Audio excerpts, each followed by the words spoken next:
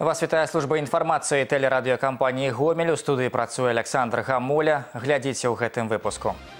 Спрацавалі з поспехам. Усе асноўныя прагнозныя паказчыкі ў першым паўгоддзі вобласць выканала. Граніца падаховай. Наш корэспандэнт Олег Сенцюроў пацікавіўся работай пагранічнікаў на чыгуначным транспарце. Вырашаем жыллёвае пытанне. Спецыялісты будаўнічай галіны ў суботу правядуць акцыю для патэнцыяльных пакупнікоў. Смачна есці. У нядзелю ў Гомелі пройдзе першы гастранамічны фестываль. У бліжэйшыя 15 хвілін пра гэта і іншае больш падрабязна. Вынікі сацыяльна-эканамічнага развіцця рэгіёна ў першым паўгоддзі сёння разгледзелі на пасяджэнні гомельскага аблвыканкама. Як было адзначана, наша вобласць адна з нямногіх у краіне выканала ўсе асноўныя паказчыкі прагнозу. Сітуацыяй у рэгіянальнай эканоміцы пацікавіўся Дмітрый Котаў. Па выніках першага паўгоддзя 9 асноўных паказчыкаў, даведзеных урадам краіны, гомельская вобласць выканала. Дарэчы, падобнага поспеху дасягнулі толькі брэсцкі рэгіён і горад Мінск. Асноўны паказчык валавы рэгіянальны прадукт перавыкананы амаль на 1 працэнтны пункт. Ніжэй за прагнозныя толькі тэмпы ў будаўніцтве. Добра спрацаваў прамысловы комплекс. Рост вытворчасці склаў 102,7%. Па выніках другога квартала наш рэгіён у лідерах. Рост объемов производства в целом по области э, обусловлен значительным приростом в обрабатывающей промышленности, которая за квартал выросла с 95,1 до 103,2%, то есть более чем на 8%.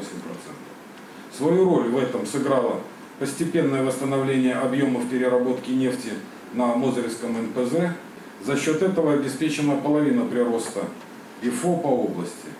Вторую половину прироста или 2,8% пункта дала стабильная работа остальных предприятий. Значна перавыкананы паказчыкі па экспарце тавараў і паслуг. У абодвух выпадках на 20%. Прамыя замежныя інвестыцыі склалі больш як 85 мільёнаў долараў пры прагнозе ў 30. Новых рабочых месцаў таксама створана больш запланаванага. Гэта дазволіла працаўладкаваць амаль 1600 чалавек. Выкананне ўсіх прагнозных паказчыкаў сацыяльна-эканамічнага развіцця ў першым паўгоддзі паспрыяла і стабілізацыі бюджэту рэгіёна. У нас доходы увеличились, собственные доходы бюджета области по сравнению с прошлым годом почти на 10%. Вот. Хотя, конечно, это пока недостаточно, чтобы решить все задачи, которые стоят перед бюджетом. Естественно, в, таких, в такой ситуации основное внимание и основные направления бюджетных расходов – это были социально гарантированные расходы бюджета. Э, на социальную сферу за первое полугодие мы направили почти 70% всего объема объема бюджета. Сярод пастаўленых задач забяспечыць далейшы рост заработнай платы ў галінах. За выключэннем брагінскага і жлобінскага ў раёнах і ў абласным цэнтры пакуль адзначаецца адставанне ад плану. Для шэрагу буйных прадпрыемстваў па-ранейшаму застаецца актуальнай праблема неплацяжоў за пастаўленую прадукцыю. Патрабуе ўвагі і скарачэння аб'ёму монтажна-будаўнічых работ прыкладна ў палове раёнаў вобласці. Усе гэтыя пытанні, а таксама рэалізацыя інвестыцыйных праектаў і распараджэння нерухомай маёмасцю будуць пад асаблівым кантролем у другім паўгоддзі. Дмитрий Котов, Игорь Марыщенко, телерадиокомпания «Гомель». Гомельскае унітарнае прадпрыемства святлатэхніка наведаў дэпутат палаты прадстаўнікоў нацыянальнага сходу Рэспублікі Беларусь, намеснік старшыні пастаяннай камісіі па працы і сацыяльных пытаннях Віталь Шылаў. Ён сустрэўся з працоўным калектывам. Падчас адкрытага дыялогу гаворка ішла аб самых актуальных пытаннях. Зараз на святлатэхніцы працуе звыш 300 чалавек. Больш як 60 процентаў з іх інваліды па зроку. Таму прысутных у зале цікавілі меры дзяржаўнай падтрымкі найбольш неабароненых катэгорый насельніцтва насельніцтва. Размова ішла і пра тое, як стварыць больш спрыяльныя ўмовы працы для прадпрыемстваў, на якіх заняты людзі з інваліднасцю і як зрабіць выпускаемую прадукцыю больш канкурэнтаздольнай на рынку. Унітарнае прадпрыемства святлатэхніка яшчэ летась было стратным, аднак зараз сітуацыя змянілася. Сёлета на 25 процентаў павялічылася рэнтабельнасць і амаль у два з паловай разы вырасла зарплата. Усе пытанні, якія хвалююць супрацоўніка, узятыя на кантроль дэпутатам палаты прадстаўнікоў нацыянальнага сходу Рэспублікі Республики Беларусь Виталием Шиловым и администрацией Чигуночного района. Были вопросы заданы у них э, по изменению законодательства. То есть э, возможность участия коммерческих организаций, которым является ООО «Светотехника», э, входящим в состав некоммерческих, негосударственных структур, таких как Общество инвалидов по зрению, в э, выполнении государственного социального заказа. Светотехника предприятия имеет возможность оказывать услуги в рамках социального заказа по э, реабилитации инвалидов по зрению. То есть они могут обучать азбуке Брайля, работе на компьютере слепым методом, э, способом чтения, работы с тростью, э, адаптации, то есть ориентация человека на улице, они могут оказывать, но в соответствии с действующим законодательством они не имеют права это делать. То есть можно это осуществлять через вышестоящую организацию общественную, но для них это трудно, поэтому они просят данный вопрос решать напрямую. Ну, попробуем в этом вопросе помочь.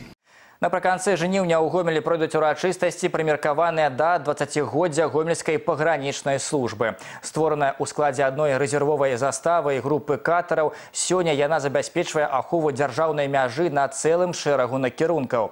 За прафесіянальнай работай пагранічнікаў на чыгуначным транспарце назіраў Олег Сенцюроў. Отделение пограничного контролю на чыгуначной станции Теруха з'явілася 31 снежня 97 -го года. Пачыналі з аднаго вагона домика, зараз тут хоць і невялікі, але гарадок. Пагранічнікі дзяжураць на працягу сутак, а таму гарадок аснашаны ўсім неабходным, пачынаючы ад памяшкання, дзе праводзіцца вучоба, да месцаў для прыёму ежы, адпачынку і праверкі зброі. Непасрэдна на станцыі Теруха на працягу сутак правяраецца каля 8 пасажырскіх і грузавых цягнікоў. І хоць надзвычайнае здарэнне вельмі рэдкае, але неабходна быць гатовым да любой сітуацыі. Перад праверкай цягніка Цягніка абавязковае пастараенне усе кантралёры аснашчаны рацыямі так званымі пармамі партатыўнымі аўтаматызаванымі рабочымі месцамі па закрытых каналах яны дазваляюць падключацца да спецыяльнай базы і аператыўна выяўляць парушальнікаў якім забаронены выезд з беларусі ці наадварот знаходжання на яе тэрыторыі плюс спецыяльнае прыстасаванне для праверкі пашпартоў хоць у любым выпадку вопыт замяніць нельга нічым в основном поведение поведение выдает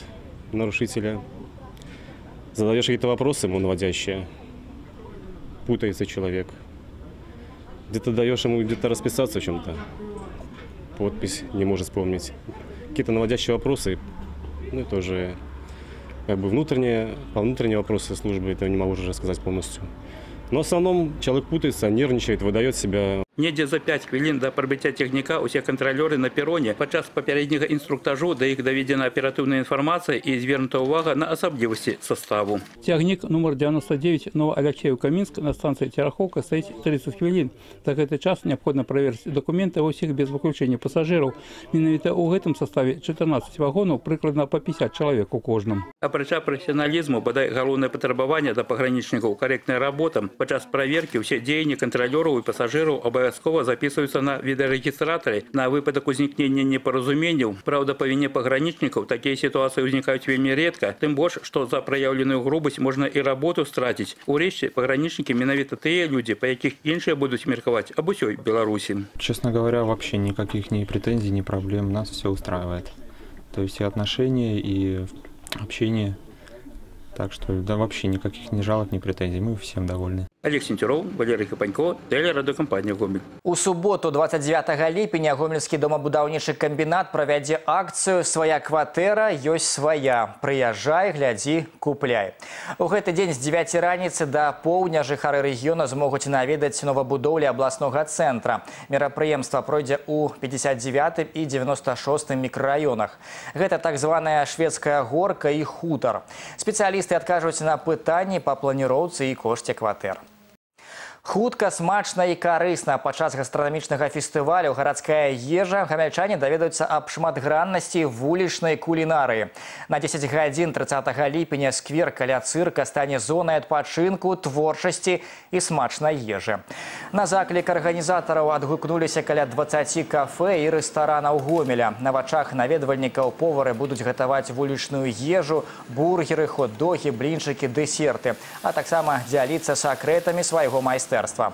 Дарэчы, удзельнікі абяцаюць здзівіць гамяльчан. Паспытаўшы прысмакаў, можна будзе адпачыць у гульнявой ці арт-зоне альбо наведаць майстар-класы па кулінарыі, модзе і прыгажосці. Цікава будзе людзям любога ўзросту, колу інтарэсаў і смакавых прыхільнасцяў. Приятно, что когда я пришел с идеей к практически всем из участников фестиваля, они жали мне руку и говорили, наконец-то вы пришли с такой интересной идеей. Наконец у нас в городе будет что-то подобное. И они сами чувствуют эти тен- тенденции, понимают их, и тренд на здоровое питание, на вегетарианское, веганское питание, он, э, он есть и он развивается, поэтому практически у всех ресторанов есть какая-то линейка, какие-то блюда э, в, этой, э, в этом направлении, и что-то обязательно будет представлено у каждого для того, чтобы э, не только мясоеды могли найти себя на этом фестивале. До речі, цены падчас фестывалю дэмакратычнай ежы таксама будуць дэмакратычнымі. І яшчэ одна навіна для тых, хто плануе адпачынак на выхадныя. Санітарныя службы правялі чарговы маніторынг усіх 9 зон рэкрэацыі на водных аб'ектах Гомеля. Парушэнняў санітарных нормаў, правілаў і гігіенічных нарматываў не выяўлена. Адменена забарона на купанне дзяцей і дарослых на пляжы Каската-1 па вуліцы Петрусяброўкі з боку вуліцы Каменьшыкова. Аднак пры гэтым не знята абмежаванне купання дзяцей на пляжы Каскад-2 па вуліцы Петрусяброўкі з боку вуліцы Свірыдава. Гомельскіх школьнікаў навучаць канструяваць транспартныя аб'екты. Сёння ў абласным цэнтры адкрыўся аздараўленчы лагер ваенны інжынерынг. Ён працуе на базе цэнтра творчасці дзяцей і моладзі чыгуначнага района. Лагер з дзённым знаходжаннем дзяцей тут адкрылі ўпершыню. Ён сабраў 25 хлопчыкаў і дзяўчынак ва ўзросце ад 14 да 16 гадоў. Асноўныя задачы патрыятычнае і духоўнае выхаванне, фарміраванне лідарскіх якасцяў, а таксама прафарэнтацыя школьнікаў. Частка мерапрыемства будзе ладзіцца сумесна з беларускім дзяржаўным універсітэтам транспарту. Тут школьнікі даведаюцца пра асновы канструявання і макетавання транспартных аб'ектаў, пазнаёмяцца з камп'ютарнымі праграмамі, убачаць выставу спецыяльнай военной техники. Насыщенная будет и культурно-познавальная программа. Досуг ожидается очень яркий, очень разнообразный. Программа очень-очень насыщенная. Планируются различные экскурсии, спортивные мероприятия, здоровье сберегающие разные акции, чтобы дети наши находились в безопасности, в хорошем настроении и плюс могли еще определиться с профессиональным выбором. Дабрачынную акцыю для дзяцей сірот на стадыёне гомельсельмаш правялі валанцёры атрада БРСМ адкрытае сэрцы. Да мерапрыемства далучыліся футбалісты рэчыцкага спартыўнага клуба спадарожнік. Свежае паветра, актыўныя гульні і прыўзняты настрой. На сустрэчу з выхаванцамі сацыяльна-педагагічнага цэнтра завіталі актывісты валанцёрскага руху, спартсмены і аніматары ў касцюмах герояў мультфільмаў. Малодшыя выхаванцы прытулку прымалі ўдзел у эстафеце разам з любімымі персанажамі, а старэйшыя гулялі ў футбол. Пасля завяршэння матчу удзельнікі спартыўнага клуба падарылі дзецям мяч са сваімі роспісамі і вымпел з лагатыпам клуба. Спартыўнае свята стала працягам шэрагу добрых спраў, якія ладзяць для дзяцей валанцёры. Наш клуб неоднократно принимает в этом участие. Э, так традиционно уже сложилось, что мы участвуем в таких вот э, благотворительных акциях. Сегодня мы Э, дарим детям улыбку, радость, ценные призы, подарки на память, атрибутику клуба, то есть проводим хорошо время с детишками. Есть у нас маленькая идея совместная, приглашать детей на наши матчи и там проводить определенные тоже мероприятия, акции, то есть чтобы детишкам было удовольствие. Мы очень рады, что мы в этом году вот как-то вместе нашлись, сотрудничаем. Для, именно для этих детей мы уже, наверное, раз пятый проводим э, акцию. И вот смотря на эмоции детей, детей. Мы как бы сами счастливы и очень рады, что им нравится, что они постоянно к нам бегут с удовольствием, обнимаются. Ну и вы видите, не хотят нас отпускать. Ніці гісторыі ў радках рамана. Выстава, прымеркаваная да 215годдзя з дня нараджэння Александра Дюма, адкрылася ў абласной універсальнай бібліятэцы імя Леніна. У экспазіцыі прадстаўлены выданні з кніжнай калекцыі князёў Паскевічаў. Большасць з іх апублікавана яшчэ пры жыцці геніяльнага французскага пісьменніка. У экспазіцыі каля 40 рарытэтных выданняў перыяду 40-х 70-х гадоў 19 стагоддзя, выдадзеных у Францыі, Бельгіі і Германіі. Усе на французскай мове. Сярод найбольш вядомых і чытаемых тры мушкетёры, графиня де Мансаро, королева Марго. Я думаю, что наша выставка универсальна для всех э, возрастов э, и профессий. А тематика ее настолько разнообразна, что она будет интересна и профессиональным историкам, и филологам, и литературоведам, и просто обычным посетителям, э, читателям нашей библиотеки, которые любят книгу, любят э, чтение, ну и, разумеется, любят Дюма. На гэтым выпуск завершаны. У студыі працаваў Александр Гамоля. Добрых вам навінаў і да сустрэчы.